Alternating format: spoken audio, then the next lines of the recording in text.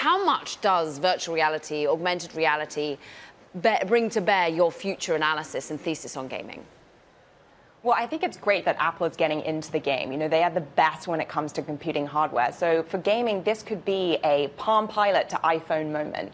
You know, for gaming, the iPhone was a critical catalyst for that industry. So I think it's going to be really exciting to see what developers do with this new device and, you know, what venture outcomes and opportunities could be there ultimately you think about the gamification of everything. So how much is VR, AR going to end up being the way in which we work? How much does that become gamified? How much does our finances become gamified? I mean, already you're thinking about the gamification of, of many of these sorts of areas.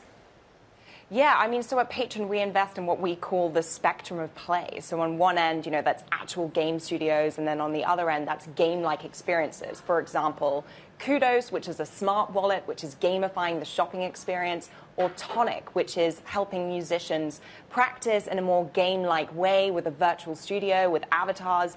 So I think if Apple can solve the form function problems and honestly just the comfort of having a device on for that mm. long, there are going to be a lot of opportunities for this generation to be continuing to live and play in virtual worlds. I mean, you can't forget that half of US kids play Roblox every single day. So I think for a new generation of consumers, it's not, it doesn't feel like gaming. This is just where they hang out with their friends. It's interesting that when we were previously thinking about Web3 avatars, when we were thinking about gamification, many would put meta there. Ultimately, how much does VR and AR or Web3 depend on VR, AR becoming reality, or not really from your perspective?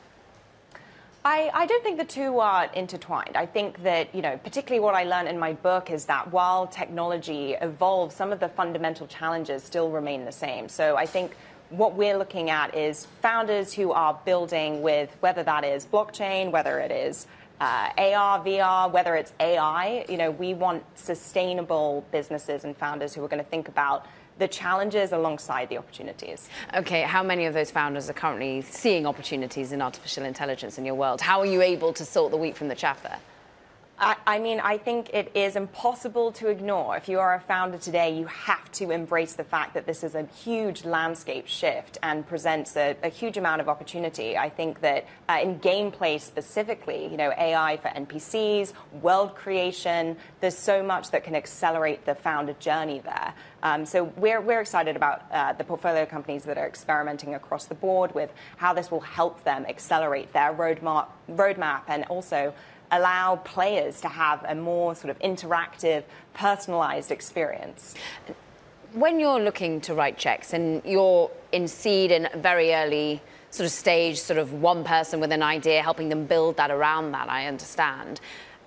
Is it competitive out there at the moment? Are lots of checks still being written? What sort of valuations are you looking at?